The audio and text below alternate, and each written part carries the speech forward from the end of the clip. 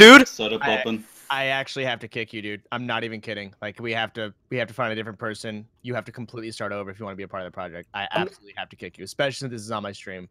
I'm not gonna lie. People have been spamming it, and I didn't say anything because he sounds like he's really young, and I felt terrible. Yeah, no, I, I feel bad too, but rules are rules. I don't feel bad. You don't cheat. Yeah, I guess I shouldn't have did it.